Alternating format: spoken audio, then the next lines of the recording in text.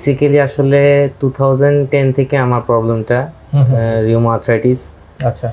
আমি অনেক ডাক্তারের কাছে গিয়েছিলাম। আমার প্রবলেমগুলো আমার প্রবলেমগুলো হচ্ছে আমি রাতে যখন ঘুমাতাম সকালবেলা উঠলে আমি ডিজাবলেট থাকতাম। একদম পুরো ডিজেবল হ্যাঁ পুরা পুরা। মানে আমি কোনো মা- আমার আম- হাতগুলোকে মুভ করতে পারতাম না হাঁটতে পারতাম না। তারপরে রাতে বেলা ঘুমাতে পারতাম না ঠিক মতন।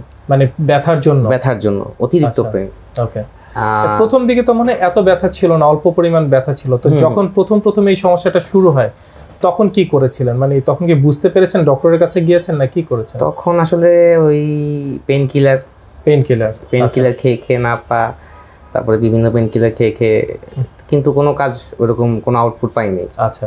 যে ব্যথার ওষুধ খাচ্ছেন হয়তো কিছুটা সময় ব্যথা কমে যাচ্ছে কমে যাচ্ছে এরপরে আবার সেম ওকে তো আস্তে আস্তে করে এরকম করে আমার বাড়তে থাকে টু থাউজেন্ড ফিফটিনে আমি একদম শীতকালে উইন্টারে চলাফেরা করতে পারি না একদম। আচ্ছা। তো এভাবে করে চলতে থাকে তো আমি চায়নায় যাই পড়াশোনার জন্য। তো ওখানে তো শীত। তো দেখা গেছে যে আমি নড়তে চড়তে খুব কষ্ট হয়। এই আমার কোমর থেকে লোয়ার পেইন তারপরে আপার পেইন হুম হুম হুম। প্রচুর। আচ্ছা। তো এরপরে এর মধ্যে আবার আমি ব্যাডমিন্টন খেলতাম। এটা ব্যাডমিন্টন আর শোল্ডার ডিসলোকেশনটা হয়েছিল টু থাউজেন্ড টুয়েলভে আচ্ছা। এটা ওটা ব্যাডমিন্টন খেলার সময় একটা টুর্নামেন্টে অনেক জোরে থ্রো স্ম্যাশ করতে যেয়ে আমার এটা ডিসলোকেট হয়ে গিয়েছিল। কিন্তু ওষুধটা একটু অফ করলেই আবার পেইন শুরু হয়। ওকে তো এই এই কিছুদিন আগে স্যারের সাথে দেখা করে বললাম স্যার বলছে যে তুমি ভর্তি হও। হুম হুম হুম। তো ভর্তি হলাম। তো আজকে অলমোস্ট নয় দিন ওকে। আলহামদুলিল্লাহ। এখন কেমন আছেন? সেই ব্যথার কি অবস্থা ব্যথা বলতে মনে হচ্ছে যে আমার যে আমার যে ব্যথা ছিল এটাই এ- এটাই এটা এটা নাই। মানে মনে হচ্ছে যে আমি টু থাউজেন্ড টেন থেকে তো আমার প্রবলেমটা টু থাউজেন্ড নাইনে আমার যেরকম অবস্থা ছিল আমার মনে হচ্ছে এখন আমি ওরকম। আলহামদুলিল্লাহ।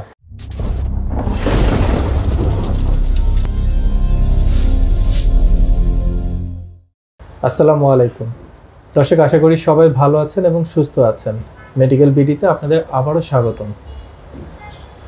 দর্শক আমরা সবাই চাই সুস্থ থাকতে এবং সুস্থতা থাকার জন্য আমাদের কতই না প্রয়াস, কতই না চেষ্টা।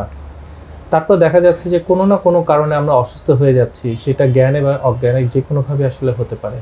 দেখা যাচ্ছে আমাদের নির্দিষ্ট কিছু নিয়ম কানুন আছে বা যে ধরনের নিয়মে আমাদের আসলে চলা উচিত, সেইভাবে যদি আমরা যদি না চলি বা ছোটোখাটো কোনো অ্যাক্সিডেন্ট বলেন প্রথম দিকে হয়তো আমরা দেখা যাচ্ছে জিনিসগুলোকে হয়তো খুব বেশি একটা গুরুত্ব দেই না বাট হঠাৎ করেই যখন জিনিসটা অনেক বেশি ক্রনিক পর্যায়ে চলে যায়, তখনই আসলে আমাদের একটু টনক নড়ে এবং তখনই আসলে আমরা কনসালটেন্টের কাছে যাই।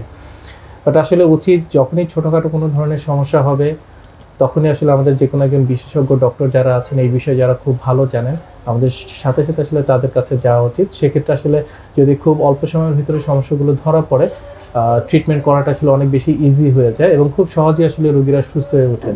তারপরেও যে আপনার চিকিৎসা হবে না তা কিন্তু না। সব ধরনের রোগীরই আসলে চিকিৎসা আছে এই পৃথিবীতে।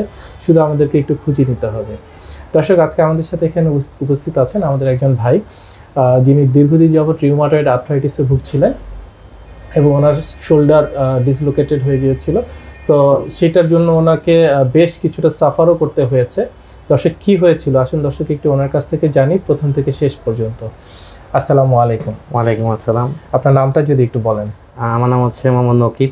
নকিব কোথায় থাকেন? আমি ধানমন্ডি। ধানমন্ডিতে থাকেন। আমাদের দর্শকদের জন্য যদি একটু বলেন যে কি হয়েছিল এবং এটা কত বছর আগে থেকে এই সমস্যাটা?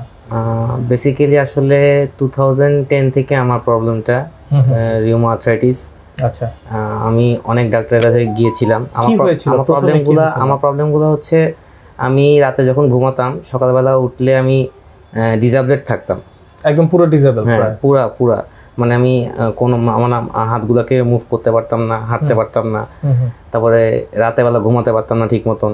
মানে ব্যথার জন্য? ব্যথার জন্য অতিরিক্ত আচ্ছা। পেন ওকে প্রথম দিকে তো মানে এত ব্যথা ছিল না অল্প পরিমাণ ব্যথা ছিল। তো যখন প্রথম প্রথম এই সমস্যাটা শুরু হয় তখন কি করেছিলেন? মানে তখন কি বুঝতে পেরেছেন ডক্টরের কাছে গিয়েছেন না কি করেছেন? তখন আসলে ওই pain killer pain killer pain killer খেয়ে খেয়ে না পা তারপরে বিভিন্ন পেন কিলার খেয়ে খেয়ে কিন্তু কোনো কাজ ওরকম কোনো আউটপুট পাইনি। আচ্ছা যে ব্যথার ওষুধ খাচ্ছেন হয়তো কিছুটা সময় ব্যথা কমে যাচ্ছে কমে এরপর যাচ্ছে আবার।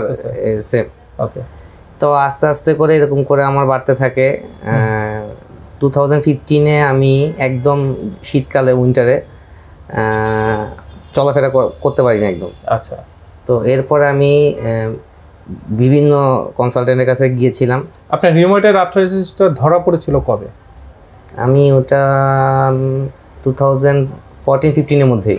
আচ্ছা। আমি তখন জানতে পেরেছি যে আমার মানে rheumatoid- দশ থেকে প্রায় চোদ্দ বা পনেরো পর্যন্ত আপনি জানতেনই না যে আপনার রিউমাটয়েড আর্থ্রাইটিস বাট শরীরে ব্যথা হচ্ছে ওষুধ খাচ্ছেন পেইন কিলার খাচ্ছেন ব্যথা কমে যাচ্ছে এইভাবেই চলতেছে। হ্যাঁ। বাট একটা সময় দেখলেন যে সেটা খুব ক্রনিক পর্যায়ে চলে গেছে একটা উইন্টারে আপনি আর নড়াচড়া করতে কিছু করতে পারছেন না। এটা কত সালের ঘটনা? এটা হচ্ছে টু থাউজেন্ড ফিফটিনের পর থেকে এরকম। আচ্ছা। তো এভাবে করে চলতে থাকে তো আমি চায়নায় যাই পড়াশোনার জন্য তো ওখানে তো শীত। তো দেখা গেছে যে আমি নড়তে চড়তে খুব কষ্ট হয়।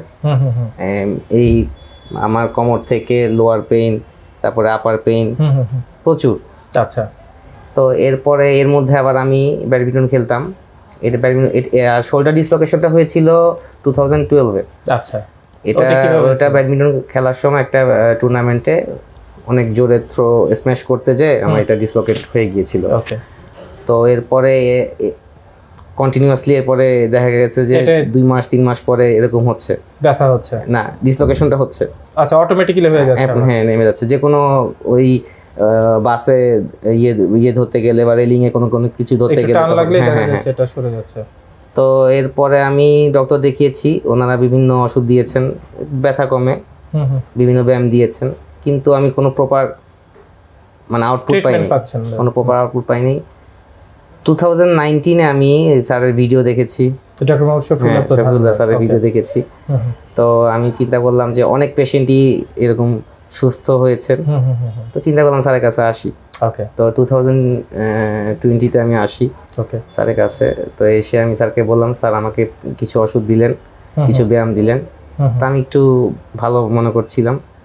এরপরে টু থাউজেন্ড না তার কিছুদিন পরে স্যার আমাকে বলল যে তোমার থেরাপি দরকার। ওকে। তো আমি নিই নেই। আমি মনে করছি যে ওষুধ খেলে আমি মানে যখন দেখছেন যে একটু ভালো বোধ হ্যাঁ হ্যাঁ করছেন তখন করছি আমি আর আর আর আসি নেই হুম হুম। কিন্তু য- ওষুধটা একটু অফ করলেই আবার পেন শুরু হয়। ওকে। তো এই এই কিছুদিন আগে স্যারের সাথে দেখা করে বললাম স্যার বলছে যে তুমি ভর্তি হও।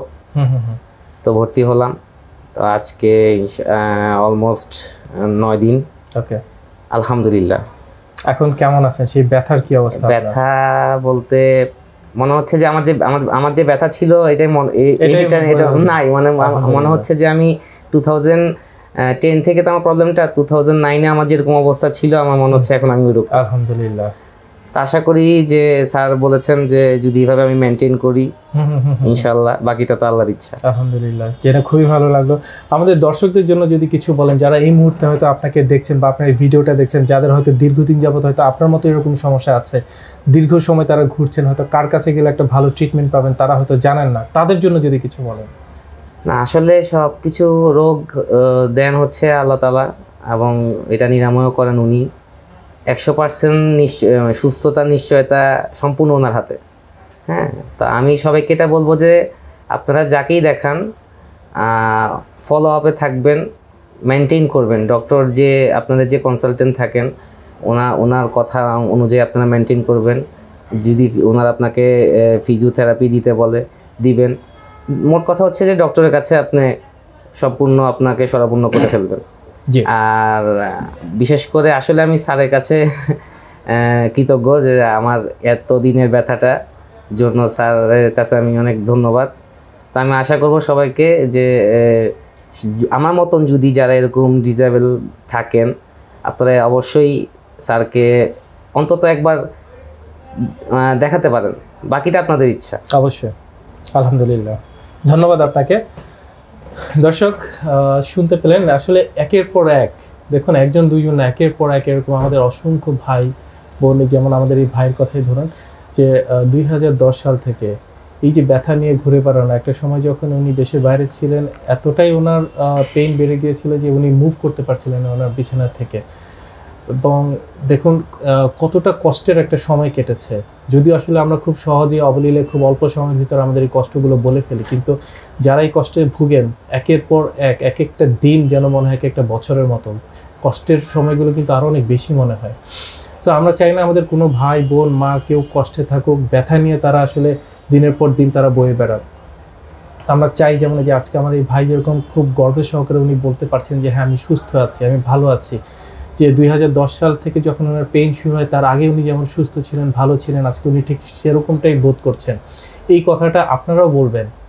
অবশ্যই ইনশাল্লাহ আমরা আশা করি যাতে আপনারাও এখানে চলে আসতে পারেন এবং আমাদের পাশেই আপনারা থাকেন সব সময় ধন্যবাদ আপনাদের সকলকে আমাদের সঙ্গে থাকার জন্য। আসসালামু আলাইকুম। আপনাকে অসংখ্য অসংখ্য ধন্যবাদ। আসসালামু ধন্যবাদ। আলাইকুম।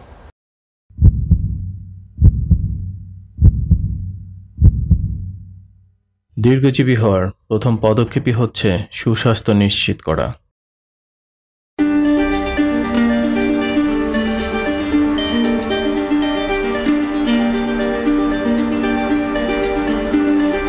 দেহ ও মন ভালো থাকলেই ভালো থাকে স্বাস্থ্য।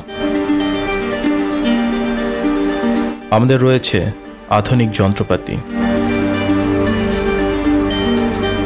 সঠিক ও স্ট্যান্ডার্ড মানের প্যাথোলজি পরীক্ষার নিশ্চয়তা। আমরা রোগীদের প্রতি খুবই যত্নশীল ও আন্তরিক।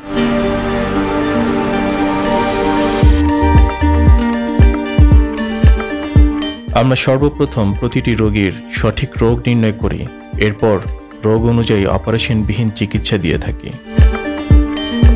আমাদের প্রতিটি ডক্টর, নার্স ও থেরাপিস্ট প্রশিক্ষণপ্রাপ্ত ও দক্ষ।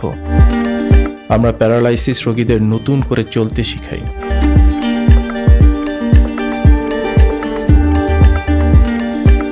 আমরা আপনাকে সর্বোচ্চ মানসম্মত আধুনিক চিকিৎসা সেবা প্রদানের নিশ্চয়তা দিচ্ছি।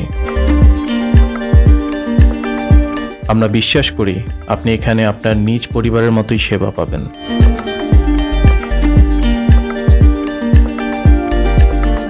বাত ব্যথা প্যারালাইসিস ও আর্থ্রাইটিসের একটি নির্ভরযোগ্য প্রতিষ্ঠান। আমরা চাই না আপনারা বারবার আমাদের কাছে ফিরে আসুন। তবুও আমরা আছি সবসময় সর্বদা আপনাদের পাশে TPRC hospital and diagnostic lab limited. আস্থা বিশ্বাস ও নির্ভরতায় অবিচল।